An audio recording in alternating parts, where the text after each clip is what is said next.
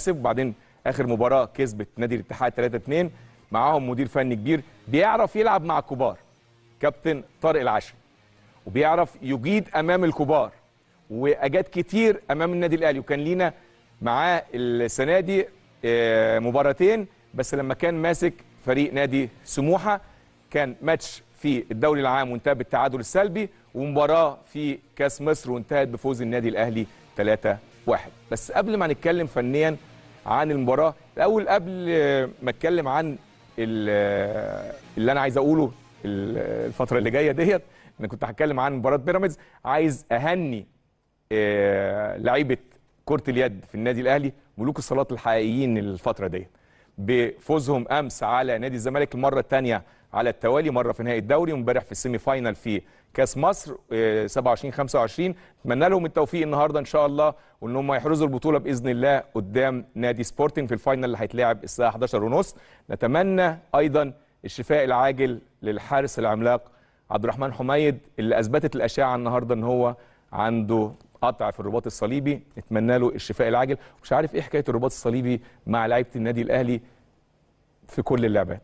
ربنا يشفي الجميع ويرجعهم أحسن من الأول إن شاء الله.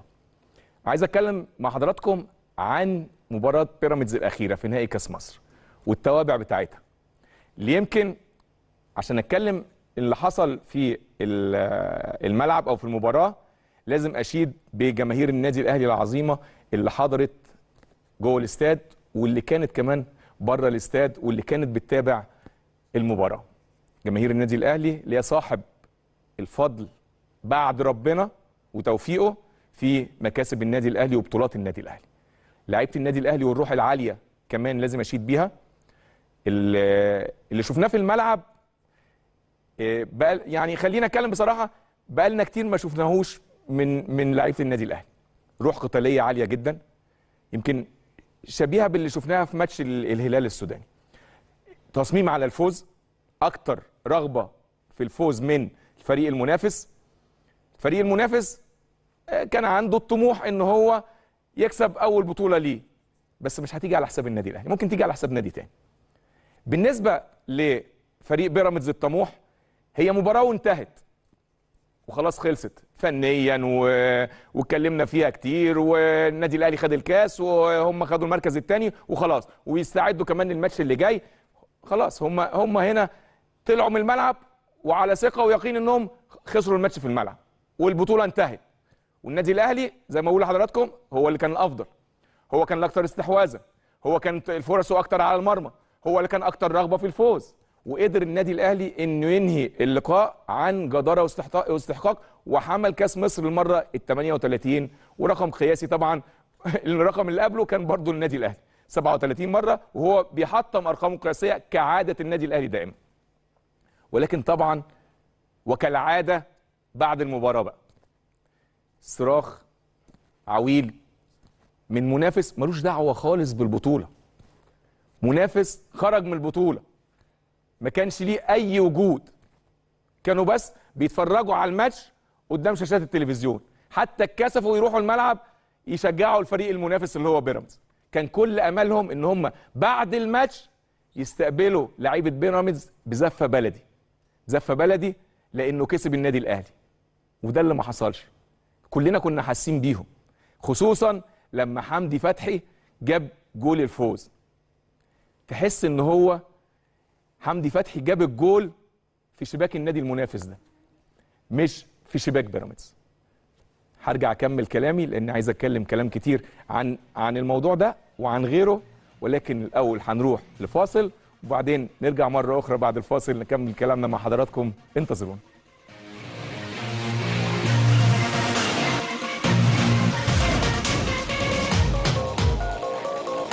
تاني أعزائي المشاهدين كنت بتكلم على توابع مباراة الأهلي وبيراميدز. وزي ما قلت لحضراتكم يمكن بعد الجول الثاني ما جه اللي هو جول حمدي فتحي تحس كده من الفريق المنافس إن الجول جه في شباكهم هم مش في شباك بيراميدز. تحس انهم مع إن هم ما لهمش أي حاجة في المباراة. بالعكس. بالعكس. ده يمكن بيراميدز اللي بيتكلموا عنه ده لعب مباراة الدور اللي قبله أمام المنافس ب 10 لعيبة. والمنافس كان متقدم واحد واحد. كان واحد متقدم 1-0 وبيراميدز وهو ب 10 لعيبة قدر يحرج الفريق المنافس وقدر يتعادل معاه وقدر يكسبه ويقصيه بره البطولة خالص. يعني انت مالكش أي حاجة في المباراة. خالص خلاص. بطولة وانت خرجت منها. بطولة وطلعت منها خلاص. وتبقى فيها كالعادة النادي الأهلي مع بيراميدز اللي كسبك ب 10 لعيبه من أول ما انتهت المباراة برامج التلفزيونية بقى في القناة الفئوية المعتادة اللي إحنا بنتكلم عليها دايما إن هي مفتوحة بس علشان مناقشة أمور النادي الأهلي. حولوا كل اتجاهاتهم لمناقشة مباراة الأهلي وبيراميدز.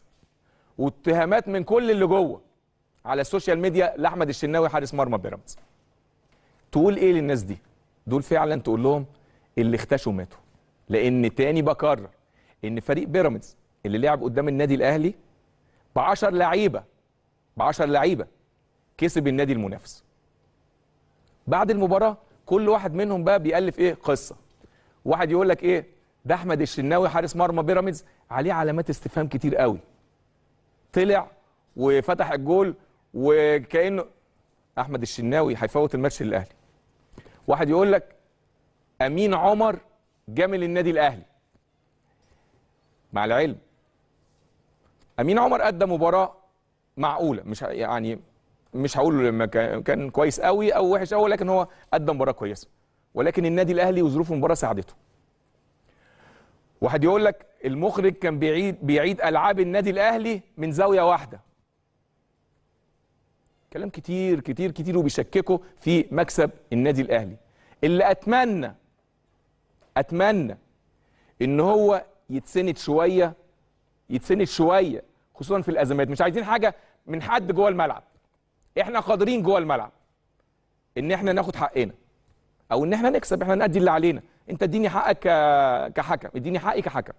أنت حكم زي ما اديت كابتن امين عمر ادى النادي الأهلي حقه ادى بيراميدز آه، حقه. كان في الصفارة كتيرة شوية في بعض المباريات ولكن كان في قلق من الكابتن أمين عمر في بعض الفترات ولكن هو أدى مباراة مش وحشة. النادي الأهلي لعب ماتش كويس. بيراميدز أدى في حدود إمكانياته. أدى في حدود إمكانياته. على فكرة إمكانياته يعني الناس بتتساءل يعني فريق زي ده وعنده نجوم وصرف مصاريف كتير جدا في خلال 3 4 سنين ولحد دلوقتي ما خدش بطولة. دي ليها أسباب كتير جدا نقدر نتكلم عنها بعد كده. يعني مش وقتها دلوقتي. ولكن لما يبقى الطموح قدام التاريخ الطموح قدام الكبير الكبير والتاريخ يكسب. حضرتك فريقك الناس اللي بتتكلم خسر أكتر من مرة 3-0 مش من الأهلي بس. لا ده التلاتات اشتغلت كتير جدا السنة دي. مش عارف أقول إيه بقى. فاركو ولا المصري ولا النادي الأهلي ولا مسابقة تانية البنك الأهلي؟ ولا مين ولا مين؟ مش عارف يعني مش عايزين نتكلم في الموضوع ده مش عايزين نتطرق لحاجات زي ما هم يتطرقوا ليها علشان ما نسقش لحد ونسيء لنفسنا في الأول. طيب بدل ما أنت بتفتعل أي قرارات فيها أي شك لأي مباراة للنادي الأهلي هو حضرتك مش متابع مباريات فريقك؟ يعني أمور كتير جدا جدا جدا مثيرة للدهشة. فريق وعنده قناة فئوية مخصصها بس للنادي الأهلي. بس. اتكلموا كمان على لجنة المسابقات. اتكلموا على لوائح الكاس اللي معمولة من بداية البطولة. معمولة من بداية البطولة. يعني مش معمولة مخصوص عشان خاطر النادي الأهلي. عشان في خاطر عشان خاطر وقعة حصلت في ماتش الأهلي وبيراميدز فالنادي الأهلي استفاد منها. لا خالص. خالص. عقوبتها منفصلة عن الدوري وعن السوبر اللي جاي. 5 مايو إن شاء الله. لا مش عاجبهم. عايزين يغيروها دلوقتي. ليه؟ علشان محمد عبد المنعم لعيب النادي الأهلي اللي اتطرد الماتش اللي فات. طرد ماتش بيراميدز. وبرده ح... ليا ليا كلام. محمد أخ أصغر بالنسبة لنا أو يمكن في في مقام ولادنا يعني. ال- ال- الموقف اللي حصل ما يحصلش طبعا من لعيب للنادي الأهلي جوه الملعب. يمكن محمد بعد الماتش اعتذر اعتذر لفخر الدين بن يوسف لاعب بيراميدز واعتذر للنادي الأهلي وجماهيره العظيمة. هو خطأ مش عايز أقول لا يغتفر ان ربنا بيغفر.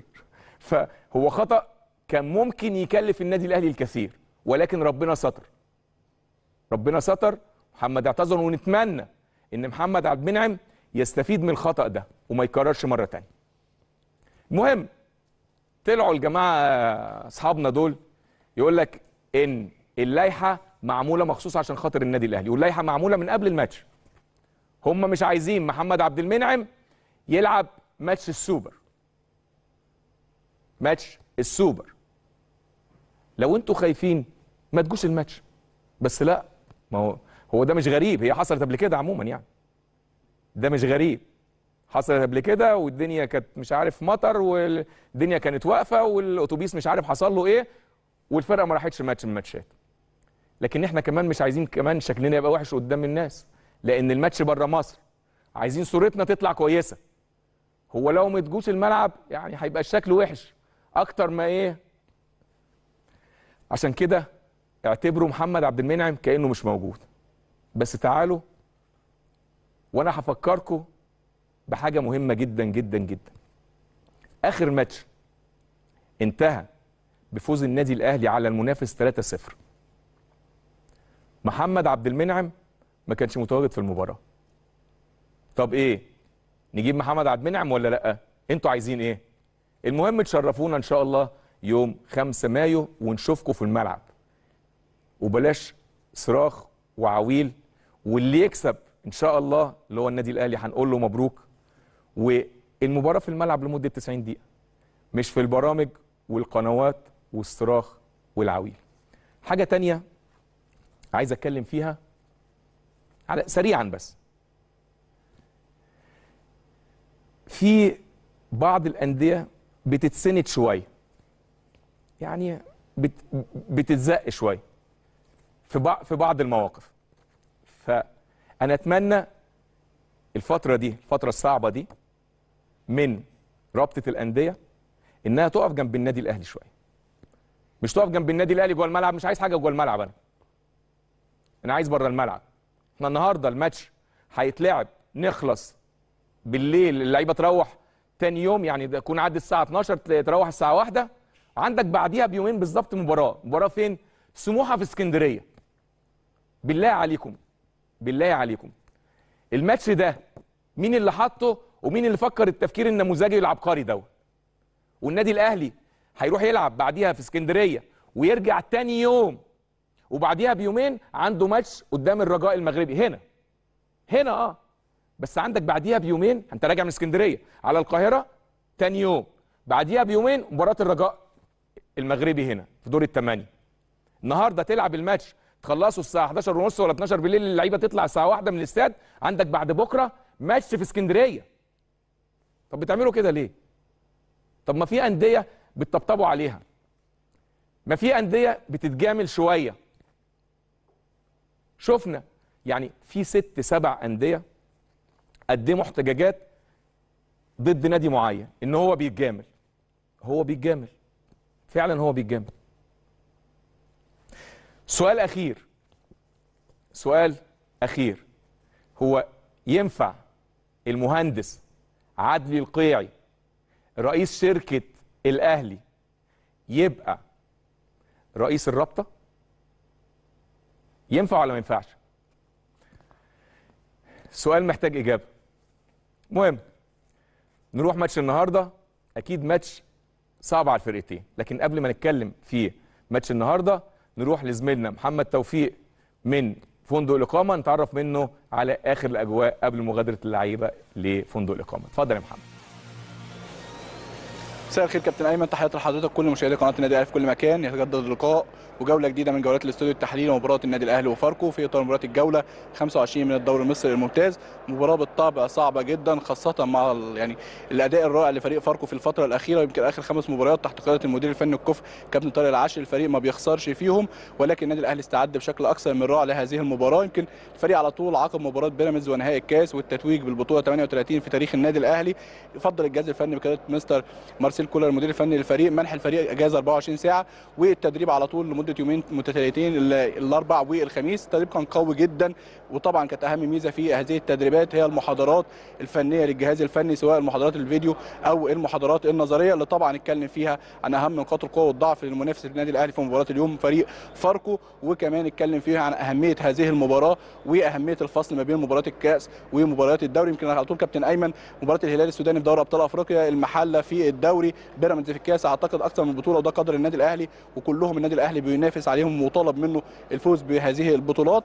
كان يتكلم الجهاز الفني سواء كابتن سيد عبد الحفيظ أو كمان مستر مارسيل كولر عن أهمية هذه المباراة والعودة للمنافسة المحلية والدوري العام وتحقيق ثلاث نقاط جديدة نحافظ بقى على صدرتنا واستعاد واستعادتها من فريق فيوتشر. يمكن يعني ال- زي ما بنقول 24 ساعة بس على صدارة الدوري. إن شاء الله تعود صدارة الدوري لمكانها الطبيعي في النادي الأهلي. وبالطبع عندنا فرق ثلاث مباريات أقل عن كل الفرق.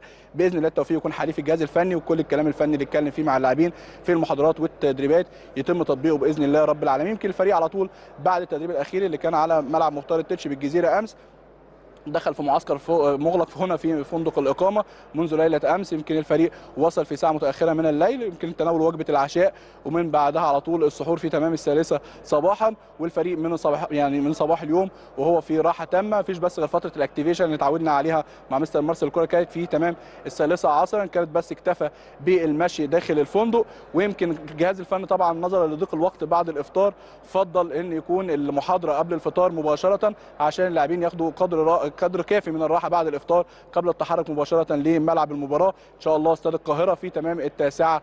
والربع يمكن طبعا المعسكر كابتن أيمن فيه غيابات عديده جدا على الفريق ولكن جميع لاعبي النادي الأهلي الموجودين في القائمه إن شاء الله يكونوا قادرين على تعويض غياب زملائهم يمكن أبرز الغيابات النهارده رامي ربيعة محمد عبد المنعم قلبي الدفاع أحمد عبد القادر يعني غيابه بيستمر للمباراة الثالثة على التوالي. وكمان بينضم لهم بيرسي تاو وبرونو سافيو لاصابتهم بنزلة برد. إن شاء الله كل اللاعبين الموجودين في القائمه يكونوا على قدر المسؤولية ويعوضوا غياب زملائهم وإن شاء الله النهارده يقدموا مباراة كبيرة. كمان بنتمنى التوفيق لطاقم التحكيم بقيادة نادي القمر الدولة ومعاونيه سامي هلهل هاني خيري إبراهيم محجوب حكم رابع وعلى تقنية الفار أحمد الغندور وسمير جمال. كل الأجواء هنا يا كابتن أيمن الحمد لله أكثر من رائعة وإن شاء الله كمان جماهير النادي الأهلي تكون عاملة أجواء أكثر من رائعة في ملعب استاد القاهرة. تبقى فقط توفيق المولى عز وجل. إن شاء الله إضافة ثلاث نقاط جديدة ووصول النادي الأهلي للنقطه 50 والتصدر على قمة الدوري العام. كلمة يا كابتن أيمن اتفضل. شكرا جزيلا الزميل العزيز محمد توفيق. الحمد لله محمد نقل لنا إن الأجواء مثالية. إن شاء الله الفوز النهارده يكون من نصيب النادي الأهلي. ماتش صعب على الفرقتين. في ظل توالي المباريات للنادي الأهلي في مسابقات عديدة خاصة كمان إن الماتش الأخير أمام بيراميدز في نهائي كأس مصر امتد لوقت إضافي لأنها كانت مباراة بطولة. والمباراة البطولة دي على فكرة كانت مباراة بطولتين. مباراة بطولة كأس مصر وإن شاء الله إن شاء الله البطولة اللي جاية 5 مايو اللي هي كأس السوبر في الإمارات. إن شاء الله يكون الفوز من نصيب النادي الأهلي. المهم النادي الأهلي النهارده بيسعى لاضافات أخرى إن شاء الله لرصيده واستعادة الصدارة بالرغم من فارق المباريات بينه وبين فيوتشر المتصدر نادي الأهلي. باقي ليه أربع ماتشات فيوتشر لعبهم زيادة لأن النادي الأهلي مش عايز يفرط في أي نقطة. مش عايز يفرط في أي نقطة ليه؟ لأن هو عايز يبعد بالصدارة. يبعد بالصدارة عن أي منافس بعديه. يجي فيوتشر بيراميدز الزمالك يبعد. عايز يحسم البطولة من قبلها بفترة. نادي الأهلي مش عايز يسيب الموضوع أو المواضيع إنها تبقى بره الملعب لحد آخر لقطة أو آخر مباراة زي السنتين اللي فاتوا. لا. المرة دي في إيدينا. إن شاء الله نحسم بإذن الله البطولة من بدري. ماتش النهارده ممكن ما نلاقيش فيها نواحي جمالية كتير لأن النهارده اللعب مع فاركو بيقوده الكابتن طارق العشري وبالمناسبه الكابتن طارق العشري لعب مع فاركو تسع مباريات لم يخسر حتى الآن. كسب خمس ماتشات وتعادل أربع ماتشات. كابتن طارق العشري معروف بأسلوبه الدفاعي الشديد قوي خاصة لما بيواجه الكبار. لكن أكيد مستر كولر شاف ماتشات الكابتن طارق العشري قبل كده مع سموحة ومع فاركو الفترة اللي فاتت. شاف طريقته لأن هو اتفرج على ماتشات سموحة لما كان طارق العشري هو اللي ماسك اتفرج على ماتشات فاركو الأخيرة مع الكابتن طارق العشري لأن لو حضراتكم متذكرين مدرب فاركو أمام النادي الأهلي الماتش الأولاني اللي إحنا كسبناه 2-1 في آخر المباراة كان الكابتن إيهاب جلال. لو تفتكروا انتهت في اللحظات الأخيرة من الوقت الضايع. وبرضه ساعتها سمعنا الصراخ والعويل بتاع نفس المنطقة برضه اللي هم بيقعدوا يصرخوا على طول ونفس البرامج أو نفس البرنامج ويمكن قعدت أسبوع حداد على الماتش ده.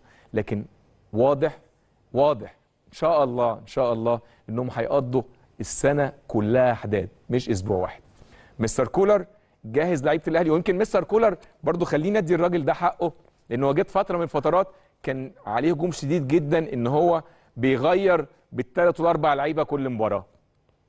هو زي ما بعض نجومنا في الاستوديو قالوا هو ما كانش تدوير أكتر من غرض التجهيز. هو كان بيجهز كل اللعيبة بحيث إنها تكون جاهزة في أي وقت هو يحتاج لها. وده اللي شفناه الفترة اللي فاتت. ده اللي شفناه الفترة اللي فاتت. شفنا تألق غير عادي من النجوم اللي كانوا قاعدين على الدكة لما بيحتاج لهم. شفنا تألق غير عادي. مش عايز أقول غير عادي هو هم هو أصلا اللعيبة دي نجوم هو ده هو ده طبيعي. بس كانت فترة من الفترات كانت هربانة الثقة شوية. شفنا تألق من الجميع. شفنا تألق من محمد عبد المنعم. شفنا تألق من محمد هاني. شفنا تألق من رامي ربيعة. شفنا تألق من حسين الشحات. شفنا تألق يعني خليني بقى إيه أتكلم عن مروان عطية خالد عبد الفتاح ودول اللي جم لسه قريبين من النادي الأهلي. ولكن تشعر إن هم في النادي الأهلي بقى لهم فترة وخاصة مروان عطية. لأن هو اللي رجله في الملعب. يمكن خالد لعب فترة وبعدين قعد على الدكة فترة ولكن مروان عطية تحس إن هو لعيب أساسي في النادي الأهلي وابن من أبناء النادي الأهلي من مثلا من ثلاث أربع سنين. يعني تحية تقدير وإعجاب لمروان عطية. حمدي فتحي حسين الشحات. يعني مجموعة كبيرة قوي بيرسي تاو. مجموعة كبيرة جدا جدا جدا استردت بس الثقة. هم عندهم والدليل اللي إحنا شفناه. يعني الدليل اللي بيعملوه في الملعب اللي بيطلعوه في الملعب. شفنا حمدي فتحي الماتش اللي فات بيشيل جول من هنا هو علي معلول وبيجيب جول بعديها. شفنا حسين الشحات بيشيل جول وبيعمل جول قبلها لحمدي فتحي. شفنا هم دول لعيبة النادي الأهلي. اتداس عليهم شوية بس اتحملوا. معلش كانت فترة من الفترات الأمور مش ماشية كويس ولكن عدوها وتحملوا اللي عايز أتكلم بقى عليه باستفاضة ولكن يعني عشان الوقت برضه هتكلم عليه بصورة مبسطة. كهربا كهربا برضه قناة الفئوية عاملة البرامج كلها على كهربا كهربا بيعيش أفضل فترات لعبه مع النادي الأهلي. ولما تيجي تحسبها تجيبها يمين تجيبها شمال الراجل ده كان قاعد من 8 ل 10 شهور بعيد عن الملعب. الوضع الطبيعي لما يجي يلعب مرة تانية هيبقى فيه تدرج علشان يرجع لمستواه. كهربا لعيب كويس ولعيب ذكي. فترة من الفترات كانت الأمور بالنسبة له مش ماشية كويس. وبعدين جه موضوع الإيقاف. خد فترة كبيرة جدا. فالوضع الطبيعي أي لعيب أي لعيب مننا وأي لعيب من اللي موجودين لما ترجع بعد غياب تاخد فترة كبيرة جدا جدا جدا. ولكن اللي بيحصل مع كهربا توفيق كبير من ربنا فضل كبير جدا من ربنا.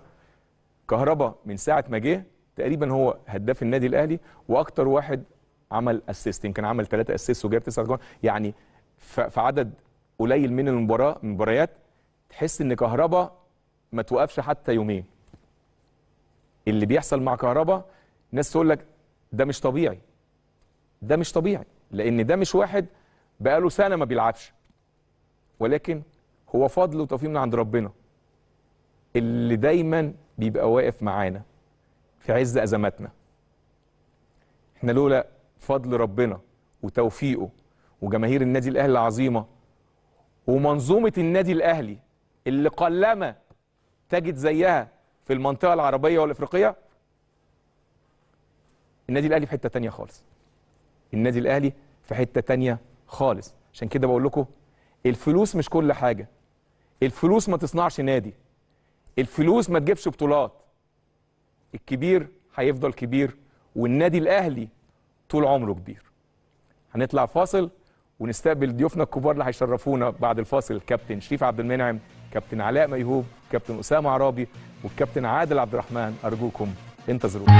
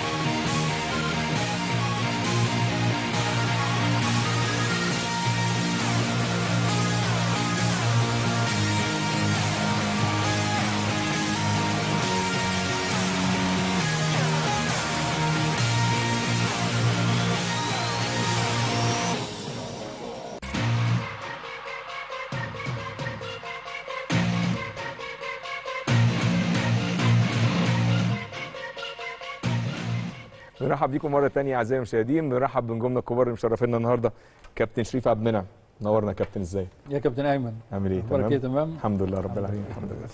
كابتن علاء ميهوب نورنا يا كابتن. أهلا بك؟ كابتن؟ الحمد لله. كابتن اسامه عرابي أهلا وسهلا. نورنا يا كابتن إزاي؟ كابتن عادل عبد الرحمن. أهلا يا كابتن أيمن. منورنا يا كابتن.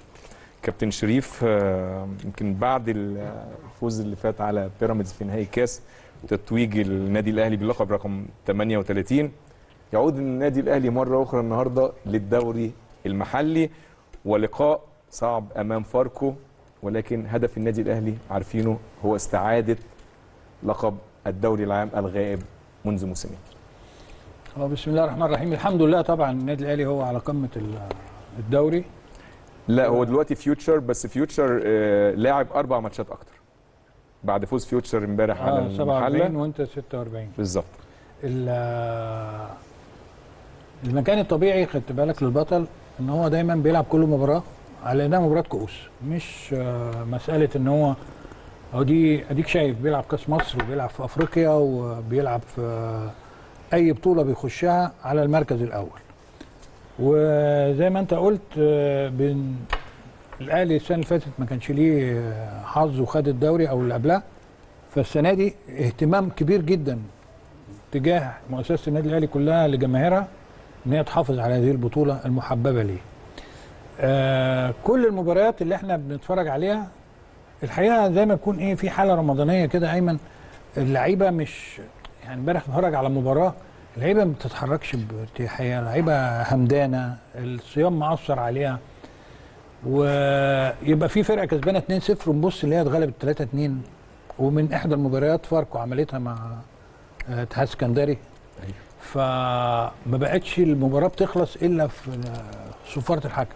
وده مش في مصر بس ده الحقيقة في أي حتة في العالم كله. يعني امبارح بتفرج برضه يونايتد كسبان مان يونايتد 2-0 و- آه. وجاب في نفسه وإشبيليا جونين جاب آخر جولين. آه. بأخطاء. مظبوط. فهو الاهتمام طبعا في إنهاء المباريات آه، من أول المباراة تاخد تركيز ومأخذ جد و- وسرعات وتريح نفسك. من أول شوط بإذن الله يكون ليك عندك الاسبقيه في التهديف، الاسبقيه في التهديف في كل الفرق اللي إحنا بنلعبها الحقيقة. أديك شفت في مباراة آه، بيراميدز لما دخل فيك الجون وفي وقت صعب كان من الصعب إنك أنت تعود. ولكن عشان حيويتك وروحك والنادي الأهلي عنده خبرات كتيرة في جميع المواقف قدر يرجع للمباراة تاني وقدر يحقق ال- الفوز بالسريع ويحرز هدفين وكان ممكن يحرز الهدف الثالث كمان. ولكن هي دي هو ده النادي الأهلي. هو ده النادي الأهلي اللي إحنا دايما بنطلب منه الأداء الجيد والفوز وال من مباراة لمباراة نفس الشكل. وعايز أكلمك على حاجة كمان ميزة أصبحت في النادي الأهلي أيمن. النادي الأهلي بقى بيعمل عملية تدوير إذا كانت خارجية رغم الظروف اللي بنلعبها والفرق واللعيبة الكتير اللي بتخش وتطلع بره. لا أنا النهارده شفت حاجة جميلة قوي في مباراة بيراميدز. إحنا بنعمل تدوير من جوه الملعب. صحيح. فبقيت عندك ثقة أنت أكتر إنك أنت ممكن أي حد في أي وقت تبص تلاقيه بيلعب في أي حتة تبص تلاقيه بالنيرف بتاعه بالحيويه بتاعته وبالروح بتاعته واللياقة البدنية الجيدة يقدر يحقق لك فوز وهو مش من مكانه يعني. آه لعيبة آه كنت بتكلم مع أسامة قبل ما نخش بنتكلم على ديانج اليو ديانج وبتكلم على محمد طاهر محمد طاهر. يمكن النهارده هنشوفه بإذن الله. في أوقات عندك أربعة خمس لعيبة كده بيفوتوا توهج ليهم بيشيلوا الفرقة. صحيح. بيبقى على أساسهم آه علي معلول مثلا وحضور كهرباء الجيد حسين الشحات الفترة الأخيرة و... محمد هاني. لا ومحمد هاني ومروان عطية.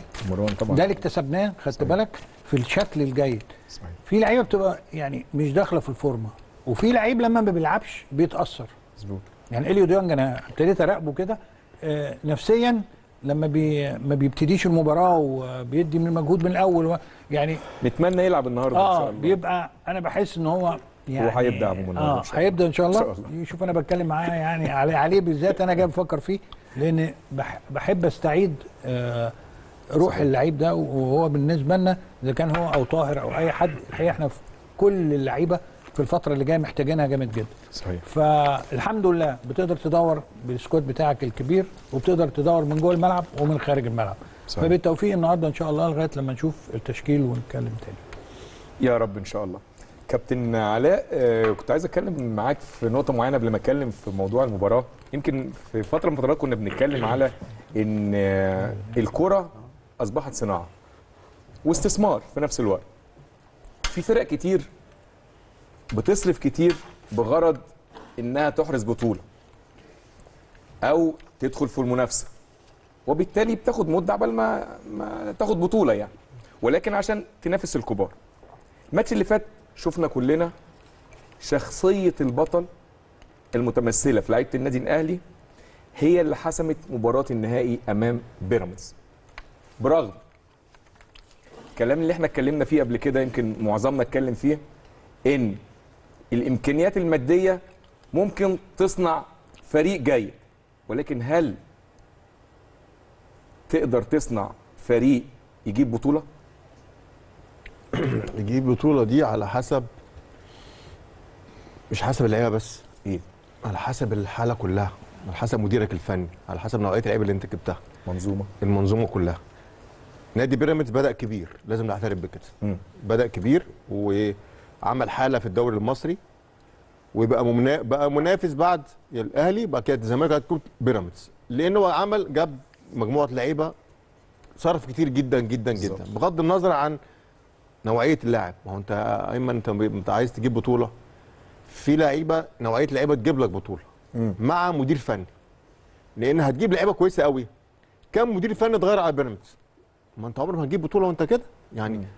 الميزة اللي اللي دايما بنتكلم عليها في النادي الأهلي من زمان جدا من قبل حتى إحنا وقبلنا هي حاجة مهمة جدا. استقرار. استقرار. استقرار مدير فني. كل الامكانيات متاحة بيبدا يشتغل في جو مناسب جو نموذجي.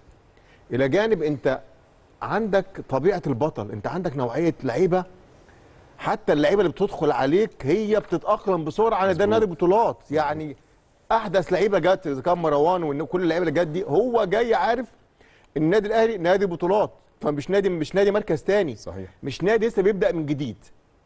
بيراميدز بدأ بداية قوية جدا وجاب لعيبة كتيرة جدا لكن دايما في حلقة واقعة. حلقة المدير الفني. لازم يجيب مدير فني يعرف النادي ده عايز بطولة يشتغل على الأساس ده ويجيب اللعيبة اللي يقدر اللي يقدر. يأقلمها وي- ويوجهها لل- للبطولة اللي هو عايزها. يبقى منافس قوي. لكن بتجيب لعيبة كتير جدا ماشي أنا معاك وأسعار خيالية لكن ما عندوش ما عندوش حتة البطوله حتى لو جاي من أندية تانية. يعني هو جاب التاريخ الجماهيرية ليها دور طبعا جماهير جماهير الجماهير ليها دور كبير كمان يا أيمن جدا. بيراميدز بلا جماهير ففائد نقطة كبيرة جدا. النادي الأهلي جماهيره أنت بتتكلم في حالة تحرك الحاجة حالة مش طبيعية أنت. بتتكلم في حالة لوحدها حالة مش طبيعية. جماهير النادي الأهلي لوحدها حالة تدرسها. برضو مش في الفترة دي من زمان على فكرة. تدرس جماهير النادي الأهلي. متعودة على بطولات. وانت عودتهم على بطولات فهم خلاص اتأقلموا كده. الولد الصغير حتى هو لسه صغير جدا. أنا بشجع النادي الأهلي. حتى لو مش عارف إيه هو النادي الأهلي لكن أنا بشجع النادي الأهلي. مع مع المرور الوقت خلاص بقى مش بيشجع. بقى مجنون بتشجيع النادي الأهلي. إن هو شايف نادي بطولات. الناس كلها الحمد لله مبسوطة الناس فرحانة. بيقرأ تاريخ النادي الأهلي. إيه النادي اللي أنا بشجعه؟ ده نادي ما شاء الله كبير جدا وعظيم جدا. فدي حلقة كمان أو سبب كمان تضيف اليوم. حتة البطولات حتة جماهيرك. جماهيرك جماهيرك مش طبيعية يا أيمن ما شاء الله يعني. جماهيرك بجد حاجة أنت تبقى فخور إن الجماهير دي فعلا موجودة في حياتنا عامة. هو ده اللي بي- ده اللي- ده الفارق. بيراميدز عنده الحتة دي ناقصة. عشان حتة الحماس والدفعة دي لا لا هو حد يفتكرها إن هي حاجة بسيطة. طبعا. جماهيرك تبقى وراك دي لا لا الموضوع يحسوا في الملعب يحسوا ال- ال- اللي اللي اللي جرب الموقف. أقرب موقف إيه؟ بيراميدز 1-0 في الدقيقة 70 صح؟ أيوة. إيه اللي حصل؟ جماهيرك اولا من قبل الماتش ما. يبدأ. لحد بالظبط. أيوة. حتى ما يجيب فيك الجول أنت سامع صوت جمهورك في الملعب. فده لوحده ايمن محمسك زيادة عن حماسك إنك عايز تتعادل وعايز تكسب بطولة. بس ده إحنا شفناها ماتش الهلال يا كابتن. ما أنا بقول لك يعني. الصورة بقى أكبر كمان. الهلال يعني أنا بتكلم عن المنافس. الهلال كان منافس متناول. إحنا كلنا عارفين كده. لكن جماهيرك كانت رايحة إنها هتلعب نهائي. كانت رايحة بشكل نهائي. أنت رايح تلعب النهارده نهائي مع الهلال. أنا بتكلم على فريق بيراميدز بنجومه بطريقة اللعب وراح جايب جول فيك كمان. فأنت بالنسبة لك أيمن أو بالنسبة لأي مشاهد بيتفرج خصوصا اللي هم يعني مش عايزين النادي الأهلي يكسب الموضوع انتهى. لا الموضوع ما ينتهيش عند النادي الأهلي. الموضوع ينتهي عند النادي الأهلي لما الحكم تسمع صفارة الحكم. قبل ما تسمع صفارة الحكم كل حاجة آه كل حاجة متاحة كل حاجة موجودة. يعني ما تأم بص ما تأمنش. ما تأمنش خالص. الحمد لله رب العالمين. طبعا دي حاجة كويسة. لعيبه النادي الأهلي صفارة إلا. لما تسمع صفارة الحكم وتتأكد خلاص إن ال- ال linesman كمان جه في نص الملعب وكده أنا ممكن يحصل حاجة. أيوة. فطبعا جماهيرك لا فارقه معاك قوي. والحمد لله إن ربنا دايما يعني جماهير النادي الأهلي وراه في كل حاجة. وزي ما النادي الأهلي بيفرح جماهيره وجماهيره مش سايباه. عشان كده الحمد لله كان مكسب المباراة اللي فاتت بغض النظر عن المستوى ال- الفني. لا مكسب حلو وبطولة جديدة الحمد لله ضفناها لتاريخك كتطوير البطولات بارقامك القياسيه وإن شاء الله مزيد من البطولات طول ما جماهيرك دي موجودة معاك الحمد لله. فكرتني لما قلت لي ال- كمان لما ال linesman يجري فكرتني عارف بإيه في اللقطة دي؟ كابتن فؤاد شفيق ماتش المصري. ماتش المصري لما آه. كان الماتش خلصان. هو هيقرب خلاص من ال center وبعدين جري معاك لحد الآخر لحد ما الكوره جت جول كانت اخر آخر كورة آه لعبنا بعد كده نص ساعة زيادة. أنا بقول لك يعني فالحمد لله دي على فكرة دي نعمة على فكرة والله. الحمد لله رب العالمين. نعمة ربنا منعم على علينا وعلى النادي الأهلي بيها الحمد لله. الحمد لله رب العالمين. تتوقعوا في تغييرات النهارده؟ ده أكيد. لازم اضطراريه النهارده بقى،. لازم بقى. طيب نقول تشكيل النادي الأهلي النهارده. محمد الشناوي لحراسة المرمى ظهير أيمن محمد هاني ظهير ايسر علي معلول قلبي الدفاع محمود متولي وياسر إبراهيم وثنائي خط الوسط الدفاعي اليو ديانج وحمدي فتحي ورباعي المقدمة القندوسي حسين الشحات محمد الضوي كريستو ومحمد شريف. مرة تانية محمد الشناوي لحراسة المرمى محمد هاني ظهير أيمن علي معلول ظهير أيسر محمود متولي وياسر إبراهيم قلبي دفاع اليو ديانج حمدي فتحي ثنائي خط الوسط رباعي المقدمة القندوسي حسين الشحات محمد كريستو ومحمد شريف. كابتن أسامة مباراة صعبة أمام مدير فني بيجيد دائما أمام الكبار ويجيد كمان استخدام الأساليب الدفاعية. آه مباراة صعبة طبعا مباراة صعبة لأنه آه، فرقة فاركو بقت آه، في موقف جيد عندهم 32 نقطة. خلاص موضوع التهديد ال- بعيد. آه، بعده.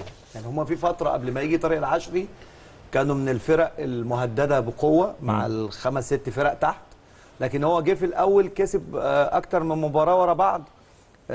حتى معدل في 10 ماتشات ما خسروش تقريبا. يعني كسبوا خمسة وتعادلوا أربعة. فالوضع بتاعهم اتعدل وبقوا في أمان. ال- جزئية الأمان دي بتخليه يلعب بثقة. خلاص بقى التوتر وال... وال... والعصبية والكلام ده ما بقاش مش هيبقى موجود. فهي مباراة أم، يعني بالنسبة له مهمة ك...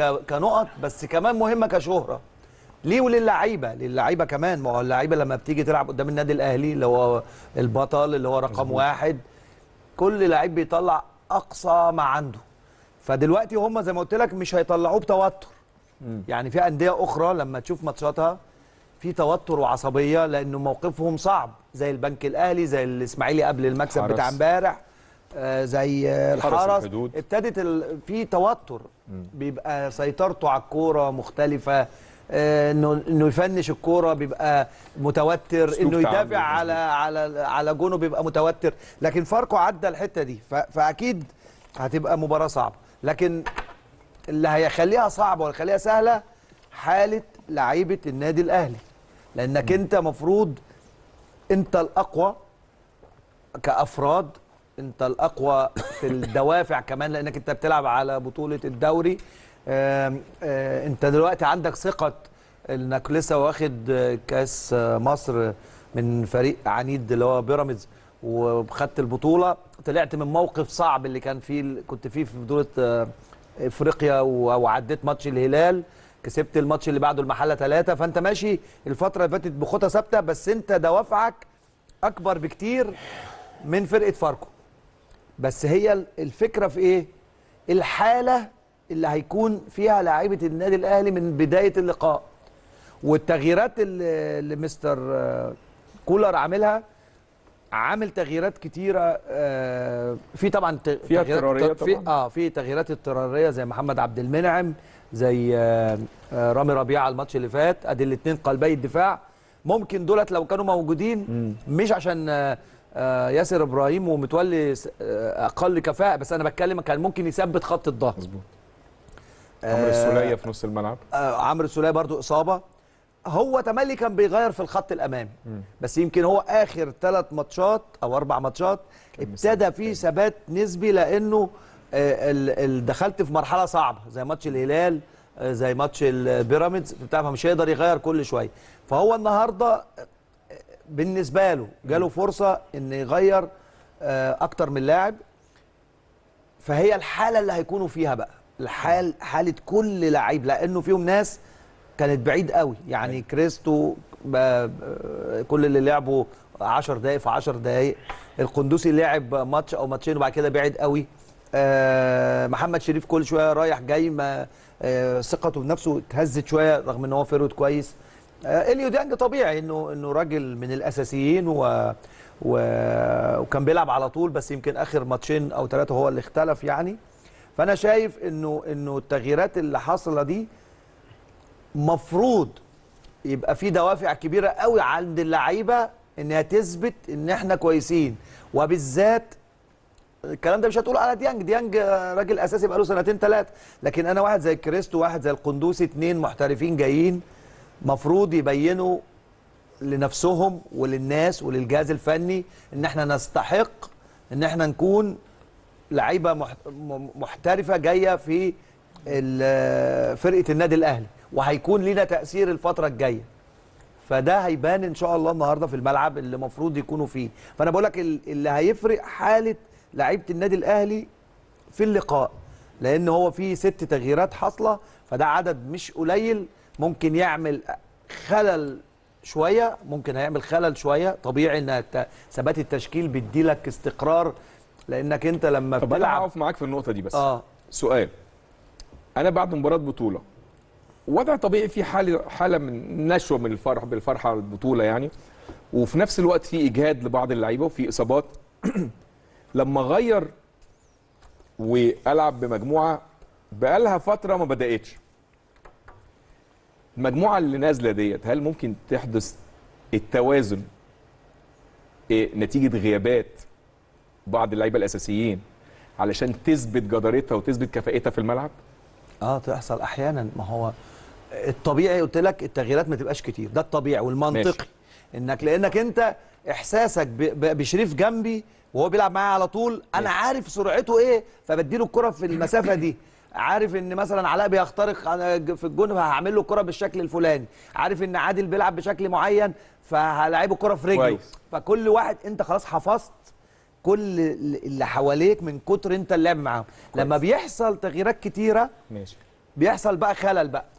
ممكن لعيبة عايزة تثبت نفسها فتلعب فردي. ده اللي أنا أقول لك عليه. ما أنا بقول لك هي تيجي, تيجي إيجابية وتيجي سلبية. ممكن كل واحد مثلا يبقى عايز يلعب يبين نفسه هو. م- مش مم. مفيش تعاون قوي. مثلا ممكن آه آه ما بقاش موفق ان أنا عايز اثبت نفسي فعامل توتر على نفسي ف... فتحصل عكسية. فتحصل بطريقة عكسية. وممكن تيجي بطريقة إيجابية اللي هي حتة جزئية إيه بقى؟ إن لما اللعيبة الأساسية أو اللي بيلعبوا على طول يبقوا مجاهدين بدنيا ومش قادرين يلعبوا ممكن حتة الكميات بقى الدوافع اللي عندي وإن أنا عايز أثبت نفسي فكميات الجري تكتر الحماس يكتر. الروح تبقى عالية آه، آه، ممكن أبقى كمان موفق في أدائي في الملعب. فممكن تيجي بشكل إيجابي من ناحية تانية. ف... فنتمنى لهم التوفيق ويكونوا. في يومهم النهارده.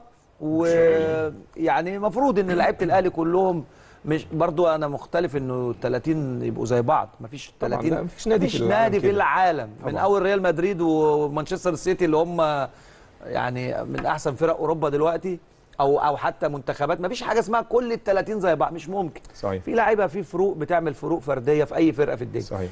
لكن مفروض برضو انت منقي لعيبة مفروض ان هم كويسين. آه، لما تيجي تلعب فرقة في مستوى فاركو مثلا في في المركز التاسع ولا العاشر إمكانيات لعيبتك دي مفروض تكون آه، أعلى منهم أو مش أقل منهم بأي شكل من الأشكال. فهي بس عملية إن أنا إزاي أبقى أو أو أكون موفق النهارده وأكون صحيح. في يوم النهارده وفي الحالة الجيدة بتاعتي. فالنادي الأهلي بالشكل ده برضو يقدر يكسب. إن شاء الله رب فبس يكونوا في يومهم إن شاء إن الله شاء الله. بإذن الله. كابتن عادل يمكن فترة كبيرة كلمنا على موضوع التدوير. يمكن أنت كان ليك آه، يعني كلام مخالف لأن ابتدى يتقال مثلا موضوع التدوير من تاني أسبوع أو ثالث أسبوع في المسابقة يعني. فأنت قلت لا هو يا جماعة افتكروا الكلام دوت إن هو تجهيز. تجهيز آه. يمكن معظم النجوم قالوا هو تجهيز مش تدوير. الفترة اللي جاية فترة صعبة جدا.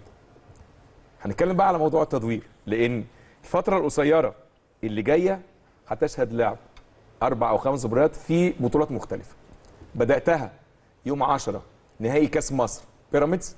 يوم 14 النهارده عندك فاركو في بطولة الدوري. كمان يومين معرفش إيه اللي خلاهم يحطوا لنا الماتش ده ماتش سموحة في اسكندرية دوري. وبعدين يوم 22 عندك الرجاء البيضاوي في دور الثمانيه كأس بطولة أفريقيا. يعني آه خلينا ناخد من كلامك يا كابتن أيمن لما اتكلمت في بداية الاستوديو قلت أنا يعني داخلين على مباراة تانية مش بطولة أفريقيا. يعني أنت كنفسك كراجل بتقدم الاستوديو بتغير من استراتيجيتك أنت في المباراة للمباراة. يعني أنت لما بتيجي حتى تحط الأسئلة فبتحط أسئلة مختلفة عن السؤال اللي قبله لأن في اختلاف ما بين بطولة. وبطولة. ما بالك بقى المدرب وما بالك اللاعبين نعم. كمان. تبقى عندك صعوبة انك انت بتطلع من بطولة لبطولة تطلع من مباراة لمباراة ودي حاجة فيها صعوبة وصعوبة كبيرة يعني. الصعوبة في انك انت يا كابتن انت بتلعب على بونت آه، في الدوري وبتلعب في كاس مصر على نهائي فلازم تكسب فبيبقى عندك بيبقى عندك مشكلة كبيرة في الحتة دي.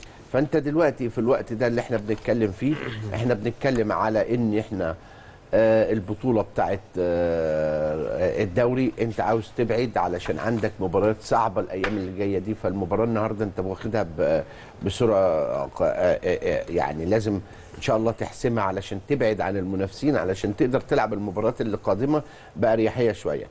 تعال بقى نتكلم على البداية بداية ال- ال- التحضير والتجهيز تجهيز. اللاعبين هو كان بيوسع قاعدة اللاعبين. صح. أي فرقة في العالم يا كابتن أيمن بيبقى عندها مشكلة لو لعبت ب 25 لاعب في السنة. أيوه تبقى عندها مشكلة لو لعبت ب 20 لعيب في السنة.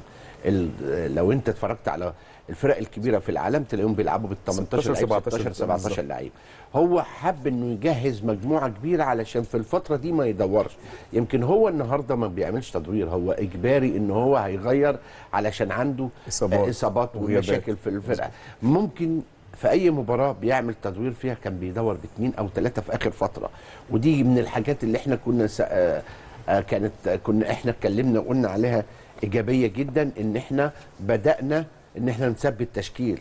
لكن دلوقتي بدأ يثبت بس الظروف هي اللي بتخليه يخرج عن التشكيل للتشكيل. هو دلوقتي بيلعب ثلاث مباريات أنت اتكلمت عليهم. النهارده فاركو سموحة الرجاء. وكان من ثلاث أيام كاس مصر. الكاس كاس خلاص مصر. قفل على الكاس. مظبوط. انت دلوقتي هتعمل إيه كمدرب؟ مين الهدف الأسمى والأقوى في الثلاث مباريات؟ المباراة بتاعت الرجاء. بس فأنت بس في حاجة في مم. حاجة. أنا برضو مش عايز أهمل بسوق بطولة الدوري. آه ما أنا هقول لك أنا عايز أرجع البطولة اللي غايبة بقى لها سنتين عننا. أيوه أنت بص عندك مشكلة عند المدرب وعند ال- الفرق الكبيرة. إيه هي المشكلة الكبيرة؟ إنك أنت عندك في ماتشين دوري وماتش صعب جدا في قبل نهائي يعني في مظبوط. في, في أفريقيا حاسم، ماتش حاسم. آه، ماتش حاسم فأنت أكيد أكيد أي مدرب بيعمل الاستراتيجية بتاعته على ثلاث مباريات أو أربعة في مدرب بيعمل أربع مباريات أنا بكلمك على الأحمال أيوة. والتجهيز واللاعبين وفي مدرب بيعمل مباراتين وفي مدرب بياخد مباراة بمباراة الفترة اللي أنت فيها دي يا كابتن لازم هتشتغل على المباراة الثالثة هتشتغل إزاي على المباراة الثالثه إنك أنت تكسب المباراتين آه. ولكن مش ب... ب... يعني مش بال risk. ما تعملش risk على اللاعبين لأنك أنت عندك هدف أسمى risk في موضوع وأقوى. الإجهاد يعني آه الإجهاد آه. طبعا. فأنت هتغ... كده كده كنت حتى لو اللعيبة ما كانتش مصابة هتي على الأقل المباراة القادمة اللي أنا بدعو إن هي لازم تتأجل يعني عشان مباراة الرجاء مباراة صعبة جدا وأنت بتتكلم على في نقطة الناس لازم تعرفها كويس قوي. انت بتتكلم على اواخر 10 أيام في رمضان آه الناس مش واخدة بالها ان القوة العضلية بتاعت اللعيب لما بيصوم أكتر من 25 يوم وبيلعب مباريات كتير بيفقد كتير قوي من ال power بتاعه. انت هتشوف الكابتن شريف اتكلم في بداية الاستوديو على الفرق بتبص تلاقيهم اللي بيبقى مغلوب. بيرجع والحاجات دي. ما هي دي منها. آخر 10 أيام في رمضان دي صعبة جدا. فما بالك انت هتبقى في آخر أيام رمضان في ماتش الرجاء داخل على العيد لسه ما عملتش ال ال الخروج من الاستشفاء بتاعت رمضان اللي أنت بتتكلم فيها فيجب إنك تريحني شوية صحيح. أنا بدعو بدعو ان إن نتمنى. لازم وأتمنى إنه إنه لازم نساعد النادي الأهلي إن هو ال- الممثل. زي زي بيراميدز لو في, البطولة الكونفدرالية برضو بدعو إن هو لو عنده حاجة لازم يريحوه عشان الاثنين اللي هيمثلوا مر البطولات القارية لهم المباراتين اللي لو بيراميدز عنده مباراة آه يجي أربع مباريات ناقصة. ولكن خلي الهدف اللي الأهلي ما بيلعبش باسم النادي الأهلي. دلوقتي خلاص خلص الموضوع النادي الأهلي بيلعب باسم مصر. إحنا كأهلاوية لو نادي الزمالك بيلعب في البطولة وهو مكان النادي الأهلي كنا قلنا ياجل يلعب. بيلعب باسم النادي الأهلي فقط. مصر كابتن بيتعمل علشان الشرف أفريقيا وقاريا. و فأنت كل الدوريات في العالم بتتعمل لأهداف المنتخبات. وتعمل منتخب بالظبط. وتعمل منتخب كويس. فأنت في الوقت الحالي أتمنى إن هم يراعوا الموضوع ده بتاع سموحه لأن الفترة دي صعبة. اللعيبة آخر 10 أيام في رمضان فيها صعوبة جامدة قوي. أنا كنت بدعو إن آخر 10 أيام في رمضان ما فيش فيهم كورة. ماتشات. ما فيش كورة في بعض الدول بتعمل كده. آه ده لازم يعمل كده. ده لازم يعمل كده لأنه هيعود على اللعيب بصعوبة جدا. سلبية. أنت عندك مشكلة كبيرة فيها فلازم نراعيها شوية. آخر حاجة عاوز أقولها لك كابتن أيمن في مباراة النهارده إنك أنت كنادي أهلي لازم تلعب في أي مباراة بالشكل اللي انت تكسب فيه. صحيح. حتى لو انت حسمت الدوري فرقة النادي الأهلي لازم تلعب للمكسب فقط. صحيح. طيب نقول مرة تانية تشكيل الفريقين. مرة تانية محمد الشناوي بالنسبة للنادي الأهلي لحراسة المرمى. محمد هاني ظهير أيمن علي معلول متولي الوسط الدفاعي اليو ديانج حمدي فتحي مقدمة أحمد قندوسي حسين الشحات محمد ضوي كريستو ومحمد شريف احتياطي النادي الأهلي النهاردة علي لطفي لحراسة المرمى أيمن أشرف حمد لله على السلامة عمرو السولية طاهر محمد طاهر مروان عطية شادي حسين خالد عبد الفتاح محمود كهربا محمد مجدي. قفشة أنا فوجئت بصراحة إن عمرو السولية متواجد في الاحتياطي معناه الحمد لله رب العالمين إن هو سليم. تشكيل فاركو محمد سعيد شيكا لحراسه المرمى رباعي خط الظهر. جيفرسون إنكادا رامي صبري عبد الله بكري عزمي جوما وثلاثي خط الوسط سكاري محمود حمادة أحمد فؤاد وثلاثي المقدمة شكري نجيب علي بهيج رزقي حمرون وده أخطر لعيبة فاركو. مرة تانية محمد سعيد شيكا لحراسة المرمى. رباعي خط الظهر جيفرسون إنكادا ظهير أيمن عزمي جوما. ظهير أيسر وثنائي قلبي الدفاع عبد الله بكري ورامي صبري. ثلاثي خط الوسط سكاري محمود حمادة أحمد فؤاد. وثلاثي المقدمة شكري نجيب رزقي حمرون وعلي بهيج. بدلاء نادي فاركو النهارده محمود السيد أحمد مودي محمود جهاد جابر كامل أحمد عوض سيف تيري أحمد البحراوي دي ماريا وأحمد شريف. كابتن آه، شريف. تشكيل النادي. نعم؟ مش دي ماريا بتاع اليوفنتوس؟ لا لا لا ده واحد تاني. ده تشابه اسماء. عندنا دي ماريا يعني اسمه الحقيقي دي ماريا؟ عندنا عندنا أربعة ميسي. وأربعة ميسي وخمسة دونجا. وفي أهو اكتشفنا دي ماريا أهو. خمسة دونجا. كابتن شريف آه، تشكيل النادي الأهلي. ست آه. تغييرات زي ما قالوا الكباتن ولكن في آه، تغييرات اضطراريه ولكن مستر كولر بيلعب النهارده 4 2 3 1 بص بقى يا كابتن ايمن أنا بتفق مع الكباتن كلهم ومعاك الشكل التغييرات الستة دول النهارده هي هيتحمل على أداء اللعيبة كلها. يعني أنت عندك من أول محمود متولي اللي إحنا بنتمنى له إن هو يرجع النهارده وعضلاته تكون موجودة اللعيبة كلها تساعده وهو يسهل على نفسه. نقل الكوره من الدفاع لخط وسط الملعب. اللي هو لما كان مروان عطية موجود ما كنتش بقى أنا من أي حد يكون موجود في الحتة دي. إنه كان بيبقى على طول تحت الكورة بيستلم وبيقدر يساعد وبيودي كره يمين ويودي شمال ويرد تاني أي ميس باص بيحصل. طب عودة ديانج في المكان ده. لسه هقول لك أهو. اللي هو دور إليو ديانج النهارده. اللي إحنا طول عمرنا بنشيد بإليو ديانج. ولسه أنا بكلمك قبل ما أعرف التشكيل. نفسيا ديانج بيحب يبتدي المباريات و... لأن حاسس إن مكانته الطبيعية اللي هي الأساسي يعني. ولكن ظروف ال- ال- الملعب دايما بتبقى في إيد الجهاز الفني هو اللي بيقدر يوظف اللعيبة كلها. وممكن يكون ديانج في فترة تعب وكان قاصد المدير الفني إن هو يريحه ويخليه آه، يلعب على فترات يعني. ال- آه، الضو بقى كريستو وكندوسي. دول النهارده ال- هيبانوا في أول 45 دقيقة. زي ما قال لك أسامة وعلاء و- عادي وعادل هل هينطبق عليهم اللعب الفردي؟ ولا هيكونوا ليهم دور كبير قوي يقدروا يترجموا اللعب الجماعي مع بعض؟ وأنا بقول لك من دلوقتي رأس مال الاثنين دول يمكن كندوسي عنده كده وكده. إنما كريستو كريستو فردي. فردي وانت عبد القادر. عارف عبد القادر؟ بس على سن صغير. أصغر وعلى إمكانيات هنكتشفها النهارده في مساحة أكبر من الوقت. فعلي معلول هو اللي هيترجم لك آه، أداء آه، كريستو. وكريستو هو اللي هيستفيد ويفيد لو قدر يفهم لعب علي معلول آه، إمتى بيباصي إمتى بيخرجه إمتى بيطلعه لقدام إمتى ده بيضمه لجوه وبعدين بيرجع ياخد مكان علي معلول وهو صغير السن في الحالة الدفاعية. فهي دي الحتة النهارده اللي عندنا اللي لازم هنتفرج عليها أول خمسة مجبرين مش هنقدر ندي فيها أي قرار. هم أصحاب القرار فيها. في بس هو الملعب. على الورقة يا كابتن شريف كريستو بيلعب ناحية علي معلول. ولا ممكن حسين الشحات هو اللي يبتدي؟ إحنا على طول الاشول بيلعب ونجراي الشحات أنا متهيألي هو أنا حاططها. عندي. ونجراي أيوه. هو جايين لنا هنا إن هو بيلعب ناحية الشمال. آه بس أنا أعتقد العكس هو اللي أنا هيحصل. بشوف إن الشحات آه، رجليه في الملعب في ناحية الشمال. ناحية مظبوط. اليومين دول ماشية كويس. بالظبط. و يا كابتن؟ بيلعب شمال كريستو. آه. كريستو كريستو. بيلعب الاثنين آه. بس هو طبيعته لما كان مع المنتخب هنا. آه كان ف- بيلعب ناحية مع. منتخب تونس. تونس. كان بيلعب آه. ناحية الشمال. بس النهارده ممكن يتوظف ناحية محمد هاني ناحية اليمين. عشان هو يبقى أشول ممكن يخش. لجوه. يعني اقرب ممكن- بقى في التمرين عارفين هو بي- بيلعب إيه. إحنا عشان كده عندنا مساحة من الوقت النهارده إن إحنا نشوف هو الكندوسي. وبنتمنى لهم طبعا كل التوفيق. بالنسبة لمحمد شريف بقى إحنا مش طالبين محمد شريف حاجة خالص النهارده غير إنه يخلص. يعني أنا أسامة بيحب محمد شريف جدا كلنا بنحبه. بس إحنا بنطلب منه أنت عامل زي جماهير النادي آه الاهلي ما عايز تصعدش جول.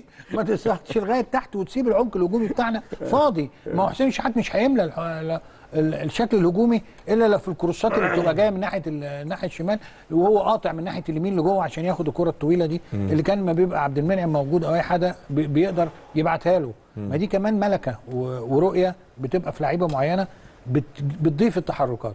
بنتمنى محمد هاني الأداء الطبيعي جدا بتاعه اللي هو آه، عنده ثقة زايدة قوي وجوده في المنتخب كمان اداله حرية التحركات وإزاي يعوض مكانه في ال miss pass وإزاي يرجع تاني يلم وبقى عنده واقف على حلو في المنطقة دي شكلا دفاعيا وهجوميا.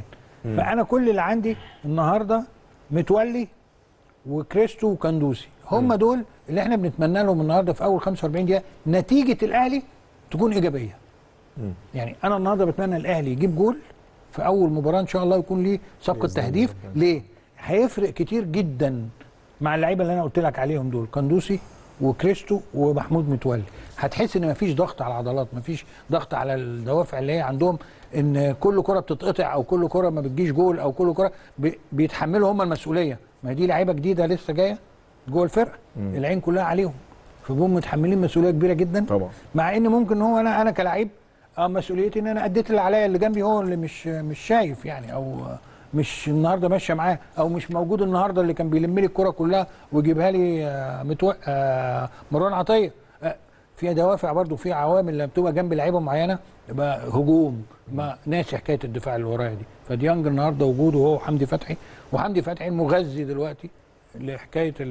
لما بتجيله التعليمات أو هو لوحده بقى أنا ما أعرفش بيعملها ولا أكيد إيه. أكيد بياخد تعليمات طبعا. أنا مع- مش معقول يعملها لوحده كذا مرة أصل يعني. دي مش في الماتش اللي فات ده بس. كتير. عملها متكررة. عملها في الحاجة. متكرر. لما الفرقة بتبقى محتاجة مم. ال- الحكاية دي إضافة واحد تاني هو شايف الملعب. هو في الملعب إن الحتة دي مش مترجمة أي شغل جيد أو أي حاجة فبياخد بياخد الريسك وبيروح طالع لقدام لما الكرة بتبقى موجودة وبيطلبها بيطلبها لأن هو سريع وعنده ثقة في نفسه يقدر يلعب براسه يقدر يلعب برجليه يقدر يشترك بقوة مع أي حد فأنت النهارده برضو آه، حكاية إنك أنت تشترك مع أي حد لازم تكون بتشترك بقوة جدا تحسس فرقة فاركو النهارده الماتش مقفول يعني مقفول. أنتوا رد فعل أيوة. لغاية أما أنا أجيب الجول الأول والثاني وده اللي. إحنا بنقوله حتى وإحنا بنتفرج. إن شاء الله. طيب نروح سريعا لملعب المباراة. وزميلنا محمد توفيق ينقل لنا بقى الصورة كاملة من داخل الملعب.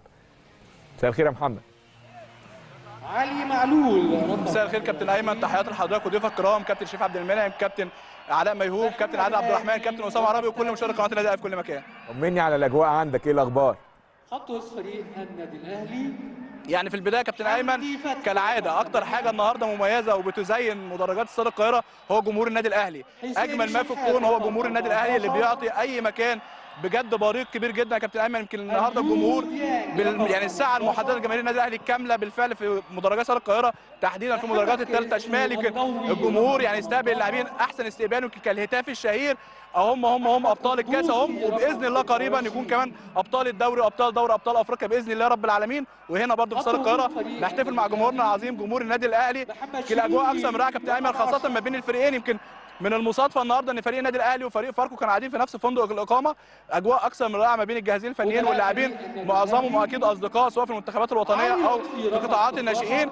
أجواء مميزة ووصلت كمان هنا لاستاد القاهرة. فريقين دخلوا سويا إلى أرض الملعب. كمان حتى في التسخين نزلوا مع بعض جدا. جمهور الأهلي زي ما قلت لحضرتك تحية كبيرة جدا لعلي لطفي محمد الشناوي وخاصة اللاعبين اللي يبداوا المباراه النهارده أحمد القندوسي ومحمد الضوي كريستو.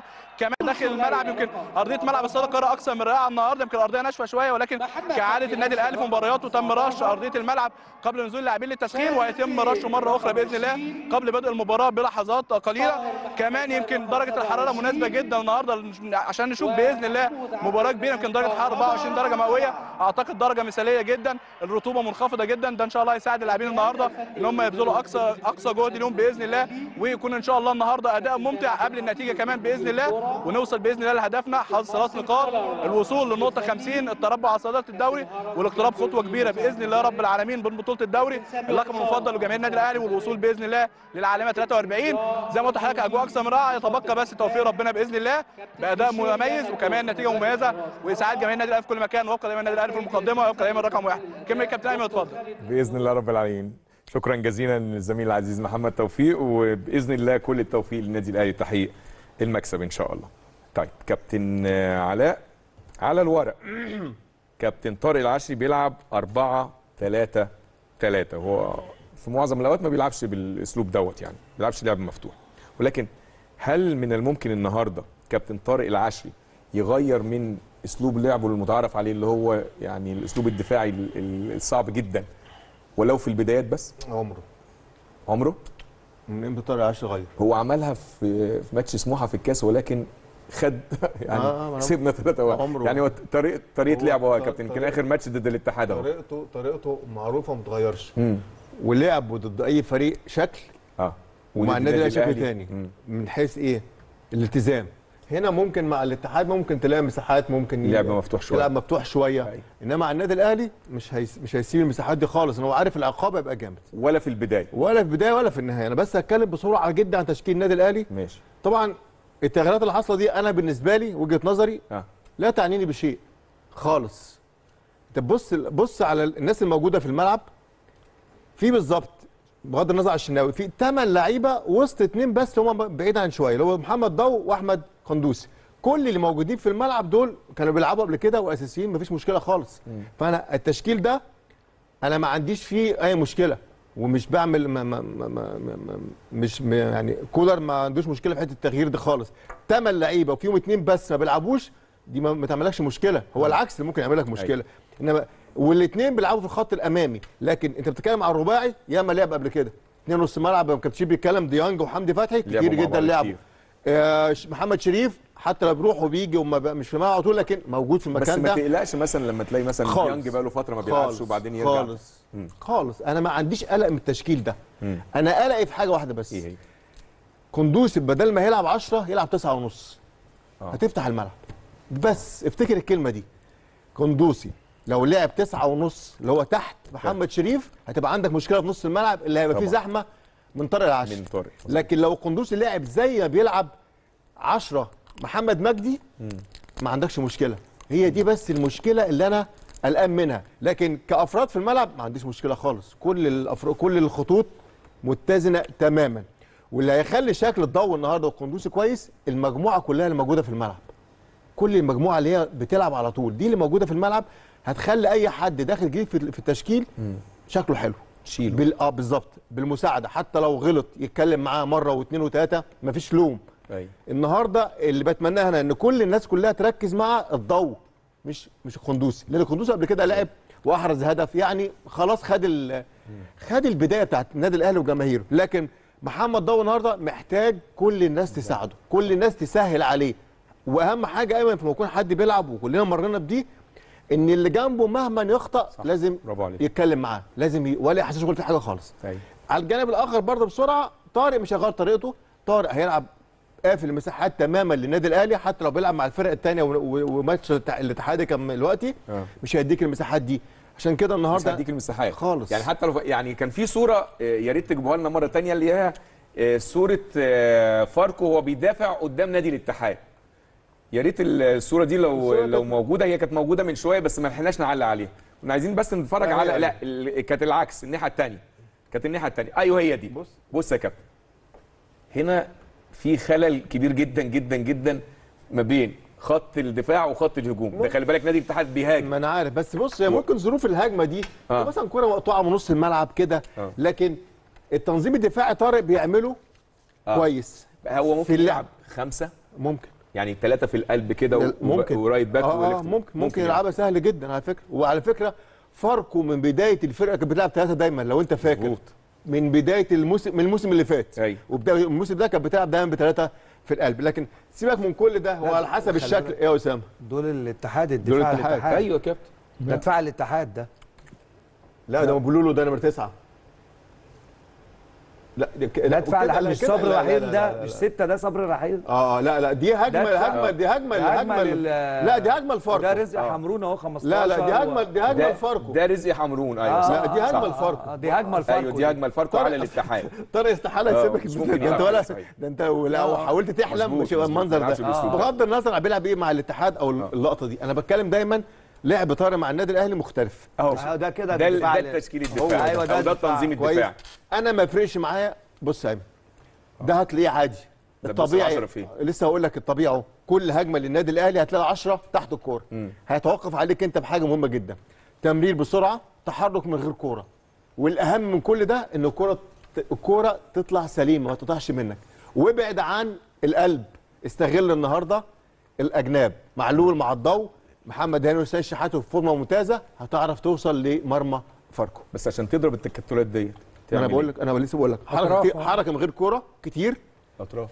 أطراف والتمرير سليم ودايما تمرير سليم. واللي هيخلص كل الكلام ده دايما ديانج وحمدي فتحي قريبين قوي قوي من الثلاثي الهجومي أو الرباعي الهجومي بتاعك عشان الكرة الثانية واللي ورا. واللي ورا يضم طبعا ده أكيد يعني. أصل أنت مش ال- اللي ورا يضم عشان هو ترى هيريحك في حاجة أيمن. العشرة تحت الكورة. فبالنسبة لك انت انت مش قلقان. انت كل قلقك ان دايما الكرة الثانية تبقى دايما انت اللي واخدها.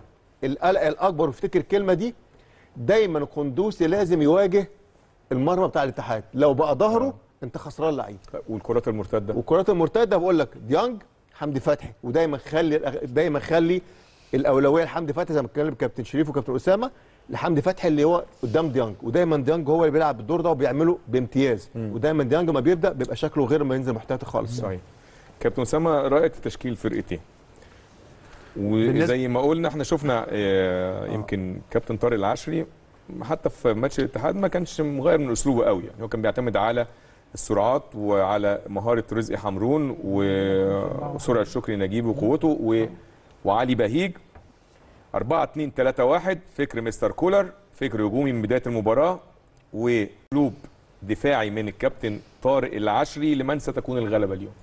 بالنسبة لطارق العشري آه، يعني عارفين إن هو أسلوبه بيميل للدفاع أكتر وبيصبر على آه، إنه يخلص قدام آه، في في في ضربات ثابتة وإحنا عارفين إنه كمان حتى في الأوت ما بيعملش إلا غير التركة اللي هي الأوت الطويل. طويل. يعني على طول في كل الفرق اللي بيمسكها ال- النص بتاع ال- النادي الأهلي اللي هو بيدافع فيه في في في 20 متر منه أو أو 30 مت- متر منه بيدخل الكرة الأول طويل جوه ال 18 عشان يكتر الهجمات اللي جوه ال 18 مم.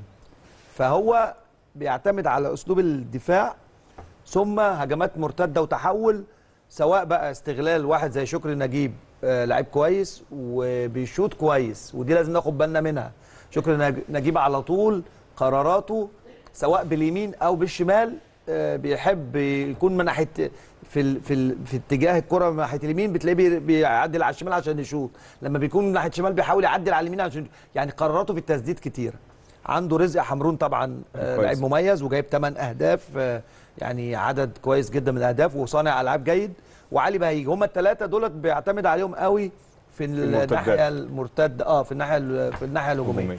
لكن بينزلوا بالذات شكري ورزق حمرون بينزلوا مع الثلاثه بتوع نص الملعب يبقوا خمسة ويبقوا مع الأربعة. زي ما شفنا الصورة اللي كانت جاية بيبقوا العشرة تقريبا تحت الكورة. صحيح. يبقى كأنه خمسة أربعة واحد و- وسايب علي بهيج هو اللي قدام. فده أسلوبه وطريقة لعبه. بس أنا قلت لك هو ما علوش ضغوط زي الفترة اللي فاتت لأنه بقى 32 نقطة قعد في الدوري خلاص. يعني ممكن يغامر؟ يغامر؟ لا مش أسلوب لعب طارق يغامر بس إحنا مش هقدر أخش جوه عقله بالظبط بس أنا بقول لك طبعه يا أستاذ. طبعه لا. يعني طبعه. طبعه- طبعه طارق يغلب لا، على العقل. يعني طبع طارق لا يعني بيحب بيقفل كويس المساحات ويلعب على هجمات مرتدة. ده تفكيره بس الله أعلم أو أسلوبه يعني هيتغير أو لا. بالنسبة لينا إحنا بأي تشكيل بأي تشكيل إحنا طبيعي ان إحنا بنضغط من قدام آه، بنحاول نغلط الفرقة من قدام بنخلق فرص آه، في التلت الأخير آه، على إنك أنت عايز تاخد ثلاث نقط من بدري وأسلوب كولر في معظم الماتشات كده يمكن الاستثناء الوحيد الماتش اللي فات كان كان في حذر شوية بيهاجم آه بس في حذر شوية لكن معظم الماتشات حتى لما كنا بنلعب مع ريال مدريد وفلامينجو في كأس العالم كان بيلعب لعب مفتوح. بأسلوب مفتوح. وإحنا حتى قلنا مش هينفع نلعب بالأسلوب ده على طول في كل وقت. صحيح. في وقت لازم يبقى فيه برضو آه، مش آه، حرص بخوف ولكن إنك بتلعب التزام شوية في نص الملعب. شوية في نص الملعب عشان ال defense بتاعك ما يتفتحش قوي. صح. المناطق اللي ورا علي معلول المناطق اللي ورا هاني لما بيهاجم اللي ورا فلازم يبقى فيه حرص أحيانا. فالنادي الأهلي هيلعب بالشكل الطبيعي بتاعه. بس هي الفكرة يعني حسين الشحات إحنا عارفين أسلوب لعبه. علي معلول عارفين أسلوب لعبه. محمد هاني عارفين أسلوب لعبه. كريستو وقندوسي زي ما علاء قال قندوسي شوية بيميل لراس الحربه أكتر يعني مش الملعب. مش من الناس اللي بتقعد تسقط لنص الملعب عشان يستلم و- وياخد أيوة. منك ويلعب دوت و- يعني بيبقى زاقق نفسه لقدام. دي نقطة. وكريستو اللي إحنا شفناها في العشر دقايق و10 دقايق انه بيشتغل بالكره dribbling كتير بيها يعني ما بيخلصش الكره بسرعة. من دي بقى هتبان النهارده هل خد تعليمات انه إمتى ان أنا ارقص إمتى ان أنا اعدي واحد ضد واحد إمتى العب سهل مع زمايلي. فطبعا هو لسه صغير هنشوف آه، مع الوقت. بالنسبة لشريف آه، آخر حاجة عشان كان الكابتن شريف بيقول أسامة بيحب محمد شريف. آه، محمد شريف فروت كويس. أنا مش مش حبا إن أنا ما بحبش أشخاص كأشخاص أنا بحبه كشخص طبعا بس أنا بتكلم في إيه؟ محمد شريف سنة كان 22 هدف هداف الدوري اللي السنة دي انت جايب إحنا جايبين ورقة الهدافين. ال- محمد شريف هو هداف الفرقة بست أهداف رغم ما بيلعبش على طول. أقرب واحد ليه علي معلول أربعة عمرو السولية ثلاثة أحمد عبد القادر ثلاثة محمود كهربا ثلاثة كريم فؤاد اثنين. آه بيرسي تاو. اثنين يعني هو برضو هداف رغم الفريق. رغم عدم لعبه رغم بصورة منتظمة ف- مش بيلعبش صوره منتظمة وفي ثقة مهزوزة عنده شوية إنما ما زال لكن ما زال. هو جايب ست. أهداف. فهو شريف لو عد بيعمل إيه لما جاب 22 هدف؟ كان بيلعب بصورة مستمرة ما غير كده كان عنده الثقة غير يعني. بص. هي هي تركيز أنا يعني بتكلم في إيه؟ على أنا بتكلم في إيه؟ في الوضع اللي موجود في النادي الأهلي. كهربا لما جه وابتدى يجيب اهداف وبتاع خلاص كهربا ملى المكان ده. صحيح. بس أنا بتكلم لو لو كهربا مش موجود الفراوده اللي موجود والظروف اللي موجود فيها الأهلي مين هو اللي محمد يلعب؟ شريف صحيح. بس هو. طيب نروح نشوف تقرير عن المباراة ونرجع بعد كده أخيرا للكابتن عادل عبد الرحمن ورأيه في السيناريو المتوقع للشوط الأول. ورجعنا لكم مرة ثانية أعزائي المشاهدين كابتن عادل السيناريو المتوقع من فرقتين الشوط الأول. يعني طارق العشري طول الوقت بيلعب على المدافعين على الدفاع. دفاع. طارق طول عمره بيلعب 4 1 4 1 أو 4 5 1 ما بيعملها على طول. حتى لو بيلعب الأهلي بيلعب أي فرقة تانية بس هو التغير على النتيجة لما بيكون عايز يجيب جون بيلعبها 4 3 3 ولما بيكون متأخر في النتيجة آه. بيفضل دايما يلعبها في صورة كان أربعة. موجود التنظيم الدفاعي فيها بتاعت ماتش الاتحاد ويمكن إحنا شفنا تقريبا 6 3 1 هو بي هو بص هو بيلعب تحت الكورة علشان كده النادي الأهلي هيحل المشكلة أنا مش هتكلم بقى في الت... في التكتيك بتاع النادي الأهلي علشان ال- الكباتن هو بص يا كابتن فيه. الصورة اهي. آه طبعا أنا عارف هو تحت الكورة. حتى بص هو دايما تحت الكورة. بس أنا هخرج من التكتيك بتاع آه، طارق العشري على النادي الأهلي في الوقت الحالي. النادي الأهلي عشان يحل الموضوع بتاع كريستو ولا ولا القندوسي ويلعبوا فين والمكان فين هي حاجة واحدة بس اللي هتفصل في الأمر. ال- الكتلة اللي لو طلعت مع بعض. لو وكباتن قربت اتكلموا على حاجة معينة بخصوص القندوسي فهم خايفين إن العبء هيزيد شوية النهارده على أليو ديانج. ده اللي أنا في الناحية. الدفاعية. بص يا كابتن. أنا بحل لك الموضوع ببساطة. مم. دلوقتي أنت لما بت... بتقرب الخطوط بتاعتك ما بيبقاش فيه حتة ال risk إنك أنت تبقى قليل في منطقة. ليه؟ لأنك أنت مقرب المسافات فالمسافة أصلا بتبقى فيها support غصب عن اللعيبة لأنهم بيلعبوا في وحده في ال 20 متر أو 30 متر. أما لو فتحت الملعب وعملت عمق دفاع هنا أقدر أقول لك. اللي هتعاني وهتبقى عندك مشكلة كبيرة. فطول الوقت أنت من الحاجات الكويسة اللي عاملها كولر الفترة دي في فرقة النادي الأهلي هي الحتة دي. خلى العمق الدفاعي ما يبقاش كبير. إحنا بنشوف محمد عبد المنعم كان لما كان بيلعب هتلاقيه على آه، نص الملعب. حتى بتلاقي بيشتركوا في حتة تحضير اللعب من النص الملعب الثاني عشان الفرقه بتديك ال 40 متر الأخرانية. في الآخر طارق العشري هيلعبك مدافع. طارق العشري محتاج حاجة واحدة النادي الأهلي عشان يفصل كل الأمور دي.